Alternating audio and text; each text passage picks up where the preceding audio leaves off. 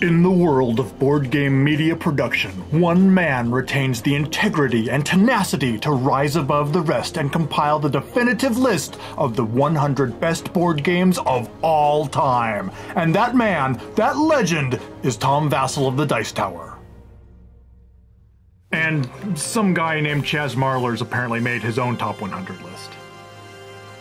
Because Tom asked him to. No, no, I didn't. Well, hello. Chaz Marler from Pair of Dice Paradise here. Thank you for joining me for this, the inaugural episode of my top 100 board games of all time video series, brought to you in part by the Dice Tower and Contractual Obligation. Now, this list is going to be the top 100 board games of mine uh, spanning my entire life, which means it's not just going to be my favorite games as of this moment in time right now, but it's also going to include games that have had the most significant impact on my life. Saying the idea out loud now, though, it doesn't uh, sound as riveting as it did in, in my head. But, but hey, it's more work for me, so.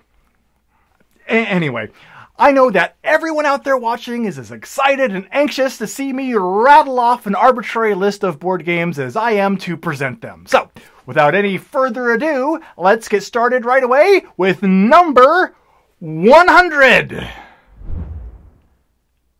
All right, I ho- hope I'm doing this right, but uh, my number 100 is Risk. Well, ho- ho- hold on a second now. Hear, hear me out. Hear, hear me out. The reason why Risk hangs on at number 100 on my list is because it's a game that has a very significant place in my history as a board gamer. Um, when I was in kindergarten, my mother and father got divorced, and when I was in first grade, uh, my mother got remarried. Um, and the only way I can really describe my stepfather is to to say you, you know that that game you play when uh, you say if, if someone was to play you in a movie uh, or a TV show you know what famous actor would play you? Well the only people I think that could fill his role would be a combination of Fred Flintstone and Homer Simpson. And I think it also helps to note that those are both cartoon characters which looking back ex- explains a lot so, between my siblings and I, growing up, we spent most of our time either being assigned chores to do or being yelled at for arbitrary things that happened around the house. So, the one respite in all of this turbulence was risk. This was the one activity that uh, my stepfather and I and other members of the family could engage in that didn't evolve into a big, huge family argument. Um, it distracted us all enough that we could just play the game with the TV on in the background or something and um, have a quiet evening for once. So that's why Risk, even though it's outdated and outmoded and has long since been surpassed by other games that do what Risk does far better, it'll always have this indelible place in my mind. And so that's why uh, Risk comes in at number 100. We're off to a really good start, though, huh? yeah. All right. Okay. When I was growing up, my absolute favoriteest toy was G.I. Joe. I would spend not only every spare moment I had, but every spare penny from my allowance collecting every single figure and accessory and vehicle from the Hasbro G.I. Joe line. And one of my favorite G.I. Joe related activities was 1985's G.I. Joe Commando Attack board game. This thing was fantastic. The board had to be at least four feet by four feet wide, and it had these little cardboard standees of each of the figures, but it also included these little plastic stands so you could swap out the cardboard standees with the actual plastic figure. And guess what I ended up doing? So, in this game, each side had several cardboard 3D buildings under their control. You had a little headquarters building, and then next to that, you had a little fenced in prisoner camp, and then over on the other side, you had something that I can't remember what it was. But what you would do is you would have your little figures go into the battlefield and take prisoners and rescue your prisoners and try to blow up the other one's headquarters. It was just a fantastic game that I remember playing over and over and over again. Cobra, to be honest, I think my nostalgic memories are probably a lot kinder to this game than actual history would have been. So it, in this case, it's probably best to leave the G.I. Joe Commando Strike game uh, in my memories and not on my shelves. But even if it's not on my shelf, it'll live on in spot number 99 on my list. All right, number 98, I think, is the last of the classic games that are on my list for a while. And this one is Stratego. Have I played any of these games? Now, the reason why Stratego is on my list is because of my daughter. Uh, she's currently nine and a half years old, and I started introducing her to games when she was like two and a half. And every few months, I might introduce a, a new game to her, and some of them stick, and some of them don't. And about two years ago, I introduced Stratego, and it's one of them that stuck with her. Uh, she actually gets this off the shelf and asks me to play it. But the reason why Stratego earns its way onto the list is because of the way I have seen her mental faculties improve over time as we've been playing it. Uh, when we first started, I would actually just grab all my pieces out of the board at random and just set them up however they laid. No strategic game plan or anything, just where the pieces lie. And I would still beat her, you know, 90% of the time. Then I would start to win 80% of the time, then 70% of the time. But now I've moved on from just randomly setting up my pieces to putting some strategic planning into the way I do it and I still only win about 50% of the time. So seeing her improve and her gameplay evolve over the past few months and years has really made Stratego a special experience for the two of us. And that is why it comes in at number 98 on my list. Next up on my list at number 97 is Privateer Press's Level 7 Invasion. Now, Speaking of games that can replace Risk, this is a game where you have a map of the entire world, and you and your teammates each control a continent, and you're trying to work together, managing all of your population and resources to fight back this alien invasion that's just bombarding the entire planet. The game is ruthless, it's brutal to the players, and I really enjoy it. But every single person that I have played it with has said this game is ruthless and brutal to the players. I hated it. So it's not for everybody. So that's why Level 7 Invasion comes in at number 97 on my list. It's a world domination, dudes on a map cooperative game, but a really stressful one that's not for everybody. Hey, let's continue the dudes on a map discussion with Rex, Final Days of an Empire, which comes in at number 96. Now, Rex Final Days of an Empire is a very interesting, neat game. Each player faction has its own unique asymmetrical player powers.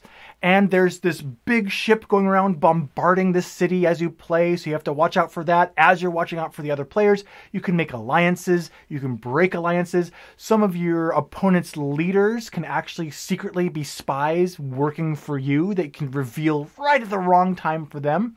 So, all of that is why this game has earned its way onto my top 100 list. But the reason why it's in the 90s is because actually, um, I'm not sure, I'm a huge fan of its combat system. Um, you have the power dials and you commit that many troops and you add your leaders. But there's just something about it that I can't quite put my finger on. I don't know. Maybe I want to be rolling dice and there's no dice to roll. Um, I don't know. Maybe it's something else. Also, this is one of the few games that when it's been played at my board game club, I've actually seen a couple of the players lose their cool and almost get into a real fight with each other. It didn't help, too, that the game took over four hours to play with six players. So that's Rex Final Days of an Empire. A really interesting, well designed game, but one that always leaves me wanting to have had just a little bit different of an experience. Many people ask me if Pandemic is going to be on this list. And spoiler alert, I'm not telling you. I will tell you, however, that its distant cousin, Defenders of the Realm, will be appearing on this list at number 95. And that's why at number 95, we have Defenders of the Realm. Now, this is a game that's kind of based on the pandemic engine, for lack of an actual good description. But in this game, you have all of these different heroes, each with a different ability. I mean, there's been like three or four expansions, so there's, I think, maybe 16 different heroes at this point, uh, and each one plays a little bit different, which is great. But even with its straightforward concept, every time we play this game, uh, the, the other players and I always run into some little strange timing issue questions or game mechanism questions that we work through. But it always seems that there's more fiddliness to this game than there should be. So that's why this one lands in my 90s. I really do enjoy it, but it doesn't hit the table as often anymore uh, because it seems like every time it does, uh, about 20% of the game time is always with kind of questions coming up and, and discussion about those things. Soon, a new game, Defenders of the Last Stand, is going to be released, which is based on the similar concepts of Pandemic and Defenders of the Realm. And I'm wondering if Defenders of the Last Stand is going to just replace Defenders of the Realm completely for me. Hopefully, we'll find out really soon. But for now, Defenders of the Realm defends its position at number fun nine, fun,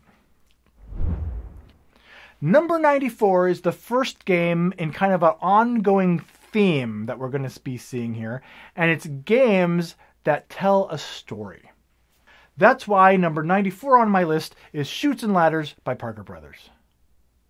Wait a minute, that, that doesn't sound right. Chutes and Ladders is way higher on this list.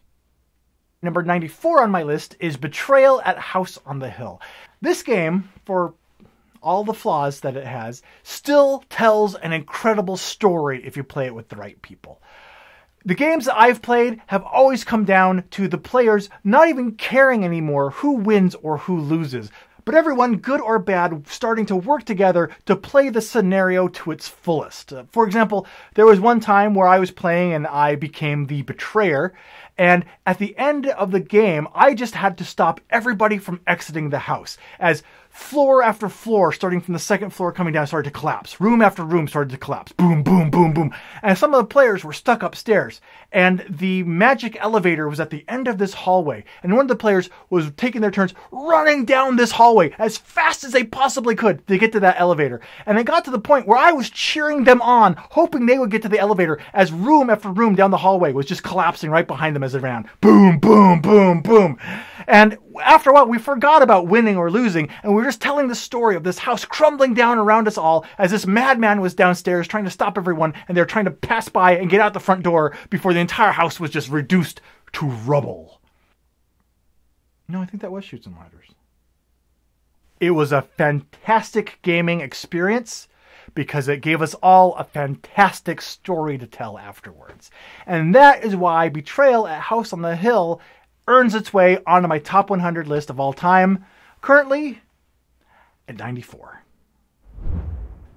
All right, but sometimes you don't want a huge, massive story to tell. You just want to sit around a table casually being a jerk to your friends.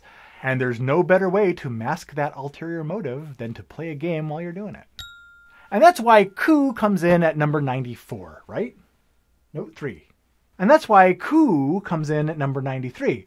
This is a light, fast paced card game in which you can get in each other's face, lie, sabotage, whatever you want to do with each other, and it ends before things get too heated or complicated. Of all the micro games that can come up as possible fillers at my game club between games, Coup is the one that I'm most excited to jump into whenever it hits the table. And that's why it's on my list at number 93. I like the game Samurai Sword. And I like it because I thought I would like Bang the card game. In fact, I purchased Bang the card game and all of its expansions and discovered I hate it. Samurai Sword fixes a lot of the problems I have with Bang the card game. And that's why Samurai Sword appears later on higher up on my list. But at number 92 is Bang the dice game. Uh, I just mentioned how Coup was a light, fun little filler. Bang the Dice game fits that same bill. It's light, it's fun, uh, it's interactive with everybody playing around the table at the same time, and I enjoy it leaps and bounds more than Bang the card game. So, number 92, Bang the dice game. It's one of those dice games that I think far surpasses its original non dice game version. At Dice Tower Con this year, moderator Chris from Flip the Table spent an unhealthy amount of time in my presence, as his decontamination therapy will attest to. But one of the benefits of our time together is that he and I got to discuss a lot of things Ghostbusters. In fact, we got to play a Ghostbusters game together, which was not only one of the worst Ghostbusters games I've ever had, but one of the worst games I've ever played in my life. Fortunately, he was able to then salvage my Dice Tower convention experience by introducing me to number 91 on my list Ghostbusters Protect the Barrier. This game is a reskinning of another game whose name I will insert here, and it does Ghostbusters right. This game is simple. Uh, it has that exploding bad guy mechanism like from Pandemic and similar games. And you're going in, and it is a roll and move game. Surprise. But this game is fun. It's surprisingly difficult. And it will sneak up and bite you just when you think you have a handle on it. So, a big shout out and a word of thanks goes out to moderator Chris from Flip the Table for introducing me to number 91 on my list Ghostbusters Protect the Barrier. And remember, in Soviet Russia, barrier protects you. you see what I did there, Chris? Oh, I stole your thing and used it without your permission. Alrighty, that wraps up the first tenth of my list. Join me next time for games number 90 through 81. I want to know if any of the games listed so far would appear on your own top 100 games of all time list, and if so, where they would land in your own list. Let me know in the comments below. And until then, for more board game news and reviews and commentary such as this, be sure to subscribe to both the Dice Tower and the Pair of Dice Paradise YouTube channels. And be sure to follow us on Twitter and Facebook as well to continue the conversations there. Till next time, I've been Chaz Marler, and you have been watching my contractually obligated list of the top 100 board games of all time. Thanks so much for watching the Dice Tower videos. Find more great videos and reviews, as well as our top rated audio podcast at Dicetower.com. You can also find other great shows at Dicetowernetwork.com. I'm Eric Summerer, and you've been watching The Dice Tower. The Dice Tower is sponsored by Cool Stuff Inc., where you can find great games for great prices. Cool stuff in stock. Check them out at CoolStuffInc.com. I wrote my uh, top 100 on these little index cards and I almost got them out of order. I did get them out of order. Yay for me!